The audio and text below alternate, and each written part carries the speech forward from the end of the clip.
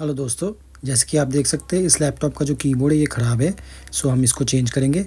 सबसे पहले लैपटॉप को प्रॉपरली स्विच ऑफ़ कर लेना है। फिर इसके बेस के जो स्क्रूस हैं, इनको हम खोल लेंगे।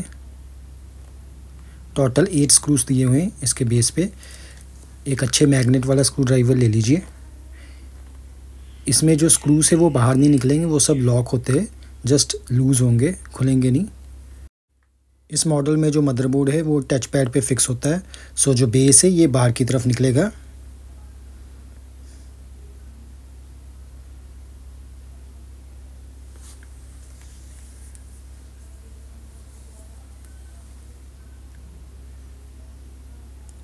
अभी हमने ओपनर को बेस और टच पैड के बीच में जो गैप होता है, वहाँ पे ओपनर को डाल के बेस के जो प्लास्टिक के लॉक से इसको अनलॉक कर लेंगे। जस्ट ऊपर बेस कवर होता है और ये आराम से निकल जाएगा। जैसे कि आप देख सकते हैं, ये इसकी बैटरी लगी हुई है। अगर आपने बैटरी परचेज़ करनी है तो ये जो पार्ट नंबर दिख रहा है, ये आप ऑनलाइन डाल के इसकी बैटरी परचेज़ कर सकते हैं। और ये दो रैम की स्लॉट्स लगी हुई हैं, processor heat sink CPU fan और WiFi card M dot two S है, स्पीकर है और सीमो सेल लगा हुआ है। अभी हम बैटरी की जो केबल है, उसे स्लाइड करके डिस्कनेक्ट कर देंगे। फिर दो स्क्रूस आप देख सकते हैं जो मदरबोर्ड पे दिए हैं। ये दोनों स्क्रूज़ को खोल देंगे। ये कीबोर्ड के स्क्रूस हैं। वहाँ पे मदरबोर्ड पे मेंशन भी किया होता है कि के डब के बी लिखा होता है। यहाँ पे हमेशा आपने मैग्नेट वाला स्क्रू ड्राइवर ही यूज़ करना है। अभी हमने ओपनर की मदद से कीबोर्ड को खोलना है। ओपनर ऊपर की तरफ़ डाल के फिर कीबोर्ड को धीरे से उठा लेना है। ये देखिए, निकल गया।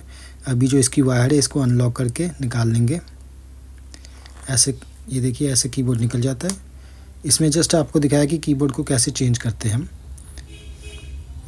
अभी हम इसकी वायर को ऐसे ही लगाएँगे जस्ट अंदर अटैच करना है प्रॉपरली लॉक में और ऊपर से लॉक कर देना है।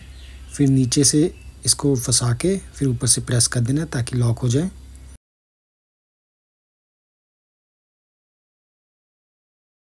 अभी हमने जो कीबोर्ड के दो स्क्रू खोले उन दोनों स्क्रूज को वैसे ही टाइट कर लेंगे।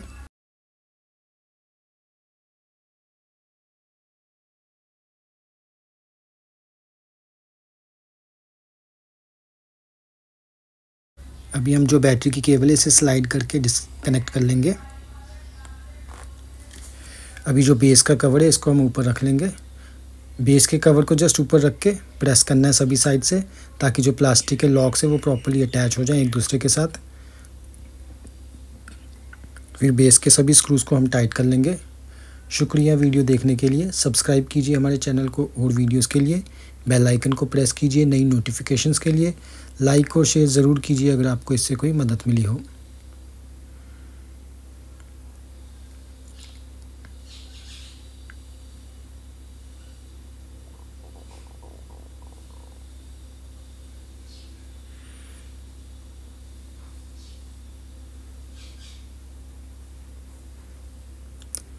अभी हम लैपटॉप को एक बार पावर ऑन करके चेक कर लेंगे।